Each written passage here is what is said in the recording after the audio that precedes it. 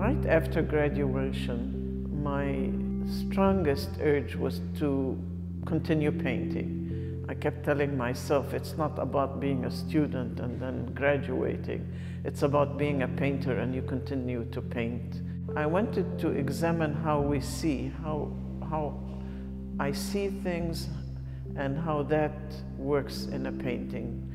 Do we really paint what we see or are there formulas that are abstract that uh, lead us or direct us or teach us to make illusions that are persuasive. So examining reality and asking what do we see and not only of things I wanted to paint but generally things around me in the world. I started with still lifes and also I had developed an idea that uh, if I'm starting on a path then it should be a path that continues. I don't think in all history anything uh, that where the artist was studying their inward feelings uh, uh, was of interest to history. I, I think that's just um, propaganda. to me, as I looked at history and looked at art, I thought that all those people who tell us art and painting is self-expression are just deluding themselves and deluding us.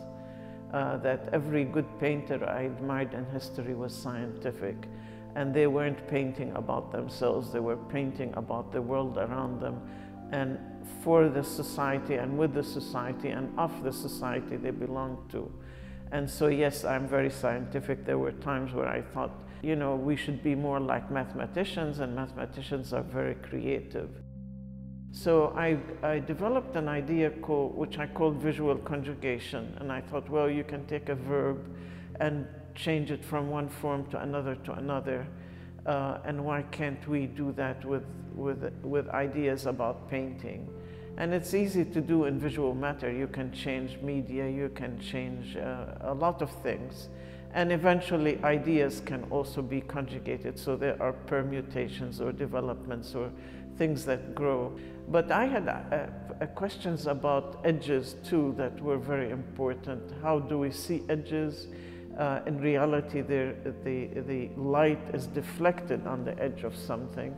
Whereas in a painting, you don't see that deflection, you just see the result of it. And what is a point on one boundary, right to the side of one boundary, and a point on the other side of a boundary, in reality, they can be miles apart, but in the painting, they can be adjacent. So these were questions that occurred to me.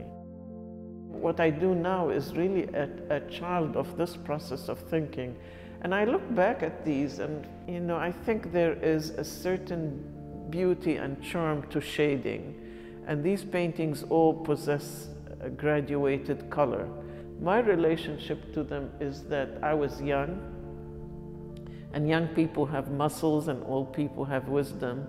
So I was young and I was willing to put a lot of effort in making one painting.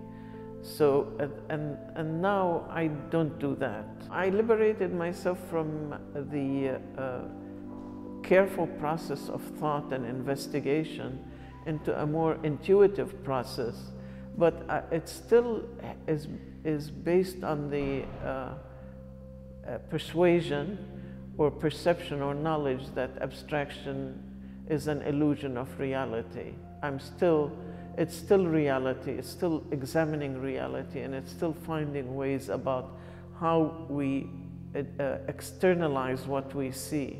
And you know, all painting is abstract, including Renaissance painting. It's just what, what ideas we have, what knowledge do we have to use to create art.